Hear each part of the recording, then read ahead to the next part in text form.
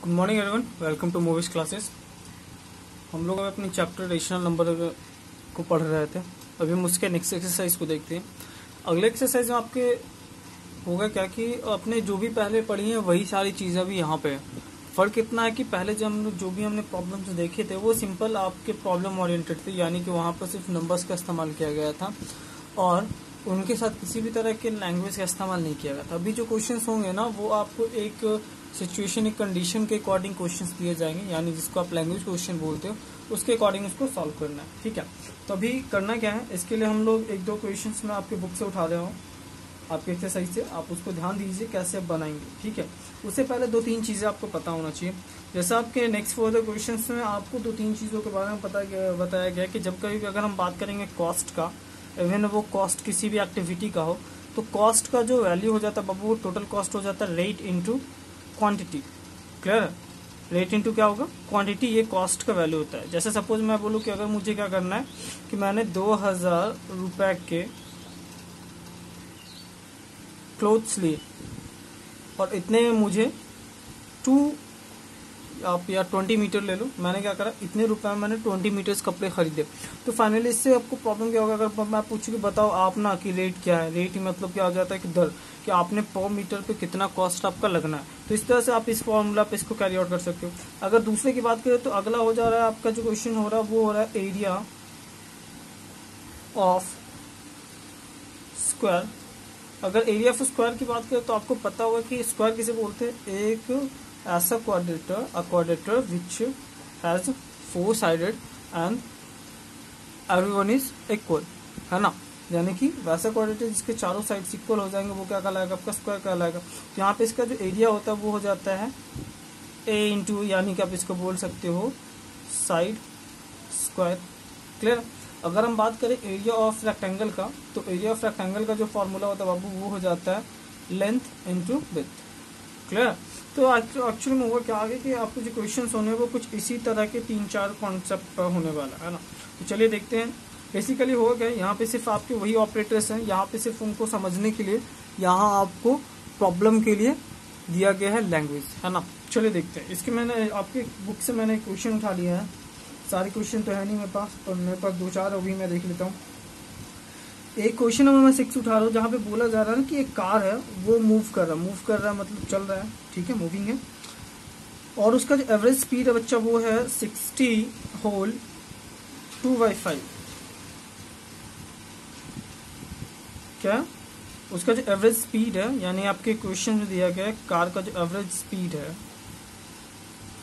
वो गिवन है sixty whole two by five kilometre per hour clear अब बोला जा रहा है ना कि ये जो अगर कार है, ये कितना डिस्टेंस कवर करेगा? That means how much distance will it cover in six और वन बाई फोर आवर तो बोला जा रहा है कि अगर इसके टाइम की बात करें तो टाइम इसका जो लग रहा है कि ये कार आपका six whole one by four hour चला। तो बताइए कि ये टोटल कितना डिस्टेंस कवर करेगा? तो डिस्टेंस का फॉर्मूला क्या होता है? टाइम इनटू स्पीड अगर टाइम इंटू स्पीड की बात करें तो आप सीधा मल्टीप्लाई करो। Sixty whole two by five into six whole one by four. ये भी आवर में, ये भी किलोमीटर पर आवर। अगर यूनिट रहता अलग तो चेंज करते। पर यहाँ पर अगर आवर आवर की बात हो रही तो हम चेंज नहीं करेंगे। चलो, यहाँ पे अब क्या करना है? इसको मल्टीप्लाई करना। मल्टीप्लाई करने के अकॉर्डिंग आपको पता होगा, ये मल्टीप्लाई करके कैसे होगा। है ना? तो आपको क्या करना है, इसके बाद कैरियन आपको मल्टीप्लाई करके देख लेना ठीक है? अगर हम उसके बाद कुछ और प्रॉब्लम्स की बात करें तो एक और क्वेश्चन हम लोग देख लेते हैं।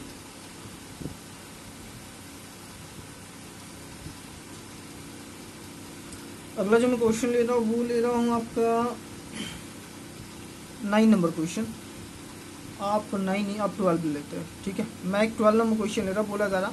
अ कॉर्ड ऑफ़ लेंथ एक कॉर्ड है जिसका जो लेंथ है बाबू वो क्या है आपका?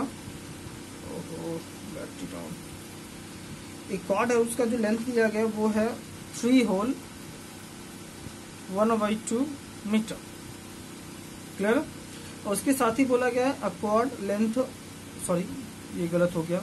एक कॉर्ड जिसका लेंथ है seventy one whole one by two metre इसको बोला जा रहा है has been cut into twenty six pieces इसको क्या करा गया? ट्वेंटी सिक्स पीसेज में कट किया गया। अब 26 पीसेस में कट किया गया और वहाँ पे साथ ही बोला गया है ऑफ़ इक्वल लेंथ यानी कि सारे के सारे बराबर पार्ट है। तो सिंपल से बात करें कि आप बताइए कि इसके इच पीस का लेंथ क्या हो जाएगा? तो मान लीजिए अगर ये पूरा वायर है, जिसका लेंथ है 71 होल वन बाई टू और इसको मैंने क्या करा 26 अलग अलग बराबर पीसेज में बांट दिया। तो ज़ाहिर सी बात एक पीस का भाग क्या हो जाएगा? आपका टोटल लेंथ भाई टोटल पीसेज है ना? यूनिट है ना? यानी कि हम इसमें इतना से डिवाइड करेंगे फाइनली जो होगा वो आपका हो जाएगा क्या? इच सेक्शन का इच पार्ट का क्या हो जाएगा आपका? लेंथ हो जाएगा, ये हो जाएगा आंसर तो इस तरह से आपके कुछ प्रॉब्लम्स दिए जाएँगे जो आपको दिया गया है, ठीक है? मैं एक और प्रॉब्लम ले लेता हूँ सपोज़ मैं इस बार ले रहा हूँ आपका इसमें देखिए, ज़्यादा कुछ है नहीं कंफ्यूज नहीं होना ईजी है। मैं इसमें से रैंडम कोई भी क्वेश्चन उठा रहा हूँ सो टेंशन लेने की बात नहीं है।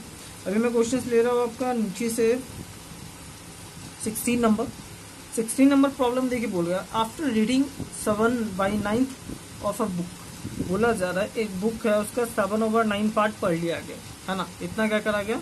रेड कर लिया गया। तो उसके बाद क्या करना है?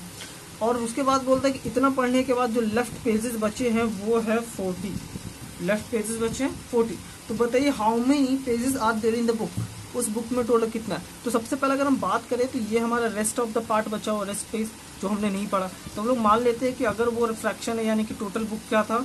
वन था। तो रेस्ट ऑफ़ द पार्ट कितना बचा हुआ है? One minus seven by nine आप इसको बोल सकते हो टू बाई नाइन है ना?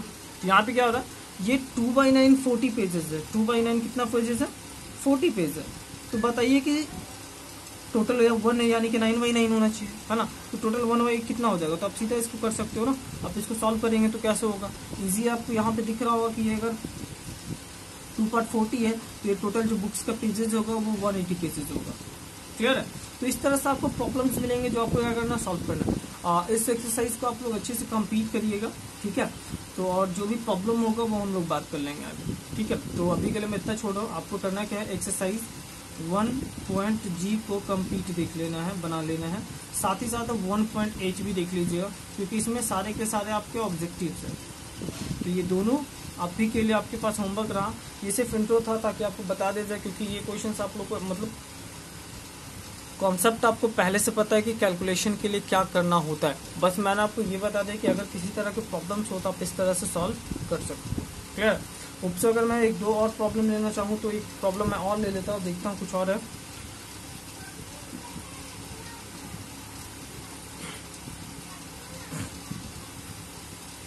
चलिए, एक बोला जा रहा है, एक क्वेश्चन नंबर मैं नाइनटीन ले रहा हूँ। बोला जा रहा है इफ़ और number if three by five of number exceeds it's 2 by 7 by 144 then find the number. अगर ये बात करें तो क्वेश्चन से बोल क्या रहा है? देखिए यहाँ पे। बोला जा रहा है कि एक नंबर है if three fifth of a number exceed its two seven by one forty four means एक नंबर है ना, उसका जो three by seven five part है, वो क्या कर रहा है? टू बाई सेवन पार्ट से एक्सीड कर रहा है। कितना से? वन फोर्टी फोर से। क्लियर समझिए, कुछ इस तरह से कि अगर मान लेते कि एक नंबर जो हमारा एक्स है, इसका थ्री बाई फाइव पार्ट कितना हो जाएगा? थ्री एक्स बाई फाइव अगर हम बात करें इसके टू सेवंथ पार्ट की तो इसका टू सेवंथ पार्ट कितना हो जाएगा? आप इसको लिख सकते हो टू एक्स बाई सेवन है ना? तो बोला जा रहा है कि ये वाला जो नंबर है ना थ्री फाइव पार्ट ये टू सेवंथ पार्ट से एक्सीड कर रहा है एक सौ चौवालीस। तो बताइए नंबर क्या? नंबर कुछ इस तरह से बनेगा। है ना? अब इसका इक्वेशन को सॉल्व कर लीजिए तो फाइनली आपके पास आंसर आ जाएगा, है ना? तो आपको करना क्या है? इस तरह से आपके प्रॉब्लम सॉल्व कर लेना। अगर मैं इसको सॉल्व करूँ तो ये कुछ इस तरह से हो जाएगा। ये प्लस में तो माइनस में चला गया। Is equal to one forty four आप इसका एल्सियम ले लो, कितना हो जाएगा? थर्टी फाइव हो जाएगा। आप इसको करो तो ट्वेंटी वन एक्स और यहाँ पे हो जाएगा ten x is equal to one forty four अगर आप यहाँ पे देखो तो ये कितना हो जाएगा बच्चा? ये आपका हो जाता है eleven x is equal to इसको मल्टीप्लाई में दूसरे साइड में कर देते हैं ना?